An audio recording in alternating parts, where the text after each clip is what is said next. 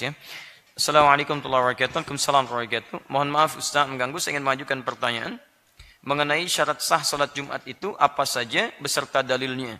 Karena beberapa saat yang lalu saya mendengar Ustadz di sini berkata, salat Jumat harus ada 40 orang pintar minimal. Jadi kalau tidak memenuhi syarat itu maka tidak sah salat Jumatnya. Setahu saya ada memang yang menyebutkan 40 tapi nggak pakai pintar. Ya. Ukuran pintar itu bisa relatif nanti ya. Masya Allah. Kenapa nggak sholat Jumat? Saya tidak pintar pak. Masya Allah. Waduh, nih repot. Ayo bismillah, kembalikan ke sini dulu. Taib. Apakah untuk sholat Jumat bisa dianggap sah? Kalau kemudian makmumnya atau peserta Jumatnya mesti berjumlah 40. Di sini ada tiga pendapat. Dari para ulama. Pendapat pertama kalangan ulama Hanafiyah. Taib. Dalam kalangan, kalangan ulama Hanafiyah berpendapat bahwa berdasarkan keterangan ayat Al-Quran, juga keterangan hadis-hadis Nabi SAW dalam riwayat yang fadid menunjukkan tidak ada syarat khusus jumlah bilangan untuk Jumat kecuali syarat yang menjadikan sah berjamaah yaitu ada imam, ada makmum. Dari mana kemudian itu diperoleh? Pertama, panggilan kemudian untuk menunaikan ibadah Jumat itu panggilan umum menunjuk jamaah, tidak membatasi jumlah jamaahnya. Quran surah ke-62 Al-Jumu'ah ayat ke-9 paling kiri sebelah atas. Perhatikan kalimatnya. Ya ayyuhalladzina amanu. Hei orang-orang yang telah menyatakan dirinya beriman. Menggunakan alladzina orang-orang yang. Baik bentuknya, bentuk jama' umum, jamaah. Alladzin disebutkan 1080 kali dalam Al-Quran. Menunjuk banyak jamaah. Idza nudiya lis-shalah, idza nudiya lis-salati min yaumil jumu'ati fas'au ila dzikrillah. Jika diseru untuk menunaikan salat di hari Jumat, bergegaslah untuk zikir kepada Allah.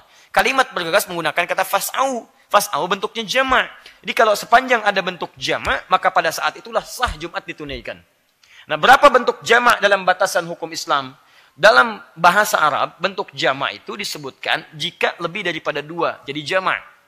Satu mufrad, dua musanna, tiga jama'. Tapi dalam pengertian syariat, dalam praktek ibadah, disebut jama' itu bisa lebih daripada satu. Dua sudah jama'.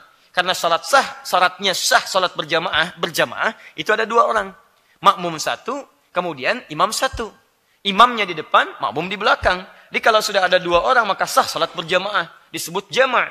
Ingat ya, pengertian bahasa tidak harus sama dengan pengertian istilah. Jadi kalau Anda ingin membahas satu istilah, maka ta'rif bahasa dibawa kepada istilahnya. Sekarang bahasa akan dibawa kepada fikih.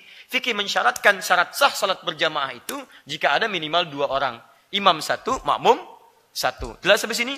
Maka dalam pendapat madhab Hanafiyah menjelaskan sepanjang kemudian terpenuhi syarat berjamaah itu dengan unsur jamaahnya maka sah dipandang Jumatnya. Misal, ya dalam satu tempat misalnya yang ada cuma tiga orang, jamaah bukan? Jamaah. Kemudian misalnya satu muadzin, satu imam, satu makmum. Jadi yang satu apa tugasnya? Khatib dan imam. Yang satu apa tugasnya? Muadzin. Satu lagi apa? Makmum. Masya Allah. Makmumnya ada dua, satu muadzin. Apakah sah Jumatnya? Sah. Dalam pandangan madhab Syafi'iyah. Meskipun memang tidak lazim. Kok ada orang Jumat cuma tiga orang, itu kan? Nanti akan diikat dengan dengan tempat. Yang kedua, pendapat ulama Malikiyah. Malikiyah berpendapat bahwa sah dipandang Jumatan itu jika minimal dalam tempat Jumatan itu ada 12 orang. Dari mana 12 orang ini? Pertama keterangan Al-Quran memberikan isyarat di Quran surah ke-62 Al-Jumu'ah ayat yang ke-11-nya paling kiri di atas agak sedikit ke tengah, dikuatkan di hadis Muslim nomor hadis 863. Tayyib. Dikisahkan kemudian ra'au tijaratan aw lahwan infaddu ilaiha wa tarakuka qa'ima. Qul ma indallahi khairu minal lahwi minat tijarah wallahu khairur raziqin. Tayyib. Wa idza ra'au tijaratan maka tatkala orang-orang yang hadir di Jumat itu melihat kafilah dagang membawa barang dagangan baru jadi ini di awal-awal masa Islam, baru turun syariat Jumat, tiba-tiba ketika Jumatan di awal-awal masa syariat itu datang kafilah. Kafilah itu rombongan bawa dagangan untuk ditawarkan. Dari Syam dikisahkan. Syam. Tawarkan bonus, Pak. Ya, diskon. Diskon, diskon, diskon, diskon. Diskonnya naik 90%, 90%. Masya Allah. Samping masjid. Dan yang ditawarkan, yang antum cari. Itu masalahnya. Taib segini dah ilustrasinya. Ibu lah bu ya. Ibu sedang di mall bu. Tiba-tiba adzan berkumandang. Allahu Akbar, Allahu Akbar. Di bawah ada masjid. Ibu teruskan transaksi atau ke masjid dulu? Bisa. Ibu ke masjid dulu karena baru pilih-pilih gitu kan. saya nanti Pak saya ke sini lagi ya habis sholat. Silahkan Bu. Begitu mau turun, speakernya bunyi. Sekarang diskon 90%, 90%, Masya Allah. Yang disebutkan diskon, itu barang yang ibu cari. Pertanyaan saya, ibu teruskan lagi transaksi atau tidak jadi sholat? Hah?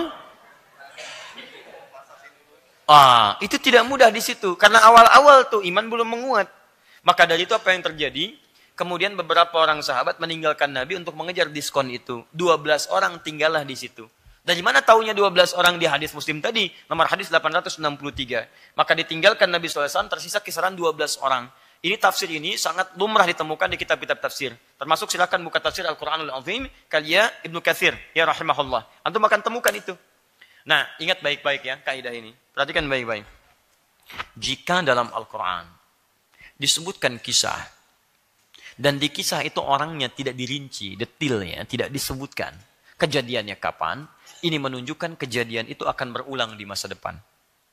Dengan tokoh-tokoh berbeda, dengan konteks yang tidak sama, tapi substansinya serupa. Maka Al-Quran ketika mengisahkan itu menunjuk dua hal. Padahal yang terjadi satu hal pada saat itu. Kata Quran, ada orang-orang yang ketika bersamaan dengan Jumat disibukkan oleh bisnis atau kegiatan yang tidak ada manfaatnya. Hati-hati. Maka mereka tinggalkan Jumat untuk mengejar aktivitas bisnisnya atau hal yang tidak bermanfaat itu. Ketika tidak disebutkan kejadiannya kapan, orangnya siapa, ini memberikan kesan akan terjadi lagi di masa depan, orang tega meninggalkan Jumat untuk mengejar urusan dunianya.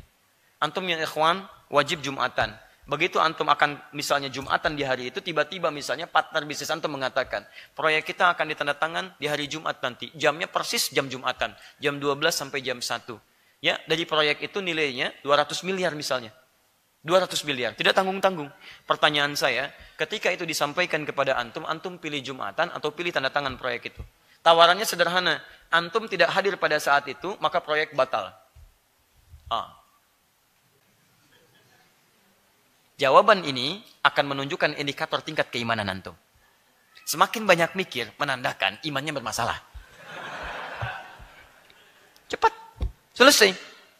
Maka pada yang seperti itu Allah tegaskan kalimatnya. Perhatikan kalimatnya baik-baik. Kul. Ini bahasa Al-Quran. Ma indallahi khairun minal lahwi wa minat tijarah. Dan ditegaskan. Wallahu khairun raziqi. Katakan kata Allah Muhammad pada tipe orang-orang seperti ini. Katakan pada mereka. Apa yang telah Allah siapkan bagi orang yang cepat merespon seruan Allah, Allah akan siapkan yang lebih baik dibandingkan dengan yang dia kejar itu. Dan tutup dengan kalimat yang sangat indah. Wallahu khairur razikin dan Allah yang mengatur rezeki yang terbaik. Pertanyaan saya, yang punya rezeki siapa? Allah. Yang mengatur siapa? Kalau bahasa bebasnya begini, hey, yang punya rezeki itu saya. Yang punya rezeki saya. Mudah bagi saya untuk menentukan. Kamu ikut Jumat atau tidak, rezeki tidak akan tertukar. Kamu kejar-kejar itu, bisa kamu saya wafatkan pada saat itu. Begitu anda kejar itu untuk tanda tangan, Masya Allah, meninggal di jalan. Rizki nggak dapat yang ini, ya nggak ditanda tangan dan ini pun Jumat tidak dikerjakan. Mudah bagi Allah. Dan sangat mudah bagi Allah menjadikan itu lebih daripada 200 juta. Masya Allah. Begitu tiba-tiba antum mengejar Jumat, Allahu Akbar. Meninggalkan itu semua, dibatalkan proyeknya. Muncul kisahnya. Seorang mengejar Jumat untuk meninggalkan 200 miliarnya. Viral kisahnya. Tiba-tiba datang orang punya proyek 400 miliar. Lebih daripada ini. Dan itu orang Islam. Sampaikan, berikan, dan sebagainya. Itu luar biasa. Antum jangan takut. Kalau ada hal bertentangan dengan syariat, waktunya bersamaan, kejar syariat dulu. Karena Allah yang punya rizki. Rizki antum gak akan tertukar. Rizki itu hanya bisa diikhtiarkan dan didapatkan dengan izin Allah. Rizki tidak terletak betapa kerasnya antum bekerja. Kalau rizki itu mengalir berdasarkan pekerjaan keras, orang-orang yang punya pekerjaan keras lebih banyak uangnya dibandingkan dengan antum. Tapi ada orang yang berpikir rizkinya datang. Orang yang begini rizkinya datang. Orang yang kerja keras, keluar keringat macam-macam, rizkinya sedikit. Bukan masalah sedikit atau banyaknya. Tapi bagaimana rizki itu bisa bermasalah untuk kehidupan antum. Di saran saya, antum jangan pernah gadaikan akhirat antum untuk kepentingan dunia antum. Karena Allah mudah kemudian menghentikan kehidupan antum bahkan sebelum antum mendapatinya. Dan tidak anda mendapati keduanya. Anda tidak mendapati keduanya. Paham ya? Tayyib. Maka dalilnya di situ menunjukkan kesan 12 orang yang tinggal kata mazhab Malikiyah ini menunjukkan dianggap sah Jumatan dengan 12 orang di situ. Kemudian pendapat Imam Syafi'i, maksud Syafi'iyah dengan Hanabila di Hambali, kemudian mensyaratkan jumlah 40 orang. Berdasarkan hadis riwayat dari Ka'ab di Abu Daud nomor hadis 1069. dengan jumlah 60 orang, eh, dengan jumlah 40 orang. Tapi Bapak Ibu sekalian, berdasarkan penelusuran ulama ketika diterjih, diterjih kemudian hadis-hadis dan keterangan ini, maka ini menunjukkan yang paling kuat pendapat Hanafiyah. Hanafiyah. Dengan tidak mensyaratkan jumlah bilangan tertentu. Jadi kalaupun ada kurang dari 40 orang misalnya, yang datang 30 orang, datang 20 orang, terlaksana Jumatan. Terlaksana Jumatan. ya, jika diadakan di masjid, di tempat yang baik, dengan keadaan yang baik, dan terpenuhi segala rukun dan syaratnya, maka sah diadakan pada saat itu. Ya, begitu ditunggu, ada macam-macam, ada kejadian, ada banjir, ada itu, yang ada cuma lima orang misalnya. Di tempat yang biasa Jumatan. Biasanya 100 orang, yang datang cuma lima orang. Waktu telah tiba, lakukan Jumatan, gak ada masalah di situ. Ya. Apa dalilnya? Karena 12 orang dianggap lemah pada saat itu, karena saat kejadian terjadi, 12 orang itu bukan menunjukkan jumlah mutlak. Tapi jumlah kejadian yang tidak disengaja. Tadinya banyak, orang keluar, yang tersisa 12 orang. Tidak bisa dijadikan hujah kalau Jumatan mesti minimal 12 orang. Karena kejadian tidak sengaja. Coba kalau yang keluar 39 orang misalnya, yang tersisa cuma cuma dua orang, maka apakah akan dikatakan boleh Jumatan dengan dua orang? Nanti setiap jumlah berubah, maka pandangan bisa berubah. Maka pendapat ini lemah. Yang kedua, pendapat dari hadis Ka'ab tadi, di kemudian Abu nomor hadis 1069, itu pun tidak dijadikan ukuran. Karena beliau hanya berkisah saat kami Jumatan, jumlahnya ada 40 orang. Ya, mungkin di tempat Anda 40 orang, tempat lain 60 orang, tempat lain 30 orang. Maka ini pun tidak bisa dijadikan hujah sebagai dasar minimal untuk Jumatan mesti ada 40 orang.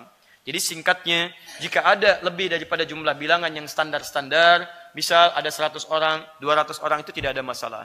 Tapi kalau kemudian misalnya dalam Jumatan keadaan tidak wajar, misal terjadi sesuatu sehingga yang Jumat datang cuma 20 orang, 30 orang, maka itu pun tetap sah ditunaikan dan sah Jumatannya. Wallahu taala alam bisawab. Antum jangan lukiskan di Indonesia. Ada negara-negara di bagian tertentu misalnya yang umat Islamnya minoritas, tapi masjidnya ada.